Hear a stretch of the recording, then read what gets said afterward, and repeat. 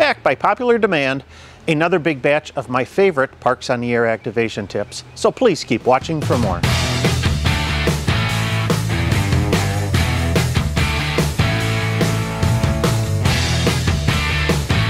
Hi, I'm Michael, KB9VBR, your host for Ham Radio Q&A. I'm on a mission to inspire and educate the amateur radio community, and today I'm going to share with you 10 more of my favorite Parks on the Air activation hacks. Well, last fall, I shared a video of my favorite Parks on the Air tips. These tips, or life hacks, will make your POTA activations successful. Well, since that video, I've collected 10 more tips from myself and others that have shared their favorites with me. So please Feel free to pick and choose any of your favorites as all of these tips that I have collected will help make your activations more enjoyable while minimizing the issues that can lead to failure. So with that, here are 10 more of my favorite, in no particular order, Parks on the Air tips. Q Wisconsin Parks on the Air, Whiskey 9 November Alpha, Whiskey 9 November Alpha, calling CQ. 3x5 note cards like these and a Sharpie are super handy in the field. I'll use these to write down the park number, park name, and even my call sign in big letter, letters so that information is right in front of me.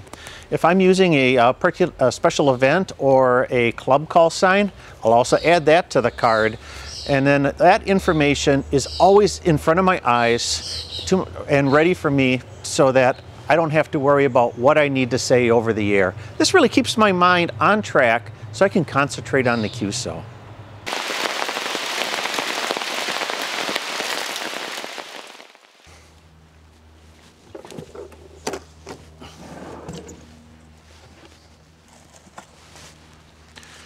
Now don't get caught outside without a plan in case of rain. I carry a couple of sheets of plastic or uh, garbage bags uh, with me so that I can throw over my gear in case of a sudden shower. Uh, if the shower is short-lived, this gives you protection until things clear. Otherwise, uh, the plastic will buy you time uh, to uh, keep your equipment dry while you tear down. Another bonus is that if you're working on an overnight activity like field day, something like that, uh, the uh, plastic will help ward off the early morning dew that always seems to happen outdoors.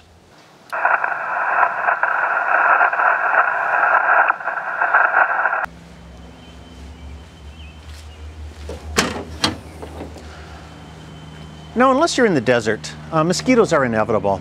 I'm not a really big fan of bug sprays, but while DEET is extremely effective, it can destroy the plastic parts of your equipment if you aren't careful.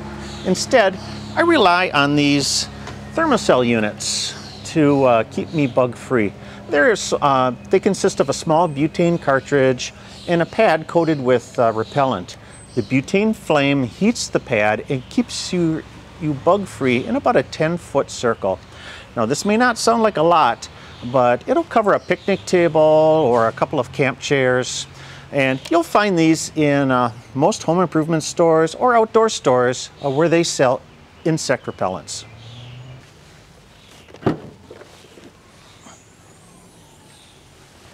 Last winter, I replaced all of the ropes in my rope bag as some of them were getting frayed. Uh, my new rope bag is now color coded so that I know instantly the length of a rope by looking at its color. All of my 25 foot ropes are one color, uh, my 50 foot pieces are another color, uh, the 75s are a third color.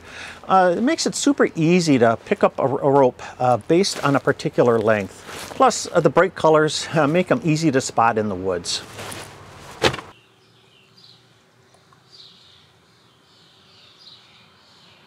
A microfiber golf or hand towel is an invaluable accessory to your kit.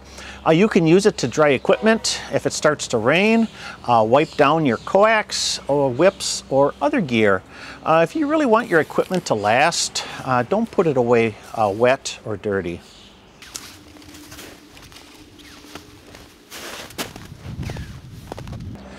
I always advocate for proper protection and a pair of gloves can be essential for when you're working with ropes. Uh, the ultra thin throw lines can cut your hands and uh, thicker ropes may cause burns. So keep a pair of gloves in your kit that you can wear during setup and tear down to protect your hands.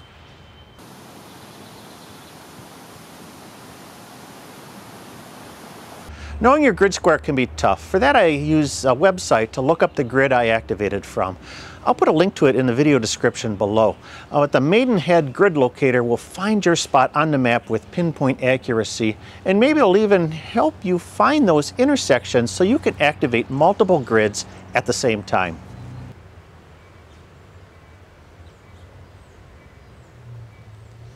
You know, busted QSOs are the worst. Uh, maybe it was a little bit of dyslexia in writing or typing down the call sign, or band conditions were such that uh, you had a difficult time hearing the person and getting that call sign uh, accurately. Uh, what I normally do is I record all of my activations, so I've got a I've got a record to go back to and uh, let's see what the other person said. Uh, but when I don't want to carry my video camera with me, I'll bring this little pocket recorder. This is the Tascam uh, DR05. It's an inexpensive recorder, but it works great for these kind of purposes. Uh, you can use it to record all your activations. Um, so you've got an audio record you can go back to and see, um, you know, uh, what the person said so you can make any corrections. Uh, maybe you had a memorable QSO that you want to preserve or worst case scenario, your logging program crashed and you need um, have to recreate the file. Having an audio record with something like this will be invaluable for that. I'll leave a link down in the video description uh, for more information on this recorder. Uh, you can uh, find out more about that there.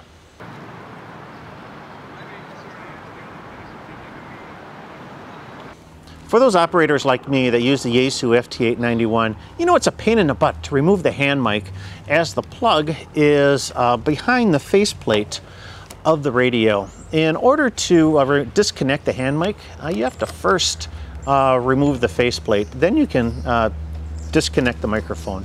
Uh, to get around this, I use a short uh, one foot extension cable that has um, RJ45 connections on each end, a male and a female connector. Uh, these extension cables are commonly used in uh, networking applications, but the Yaesu modular connector has the same pin out. I'll put a link to this RJ45 extension cable in uh, the video description down below.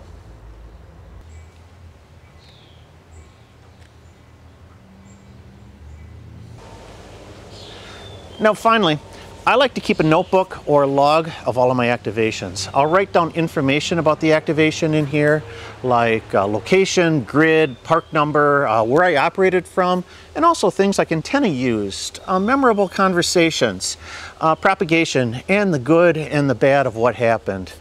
I use these uh, 5 by 8 on soft-sided notebooks. They're just, they're thin, they're just the right size for me, and I can slip them into my gear case uh, really well.